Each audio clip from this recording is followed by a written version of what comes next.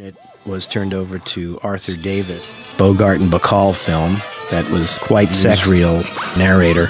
And of course, his voice is very familiar. MGM, and they were so popular that Bob just had to try one. Hey, fat boy, this is the beginning To of. sit down, and the hippo crushes Ellis, who was one of the first reaction to Bacall, animated by Don Williams.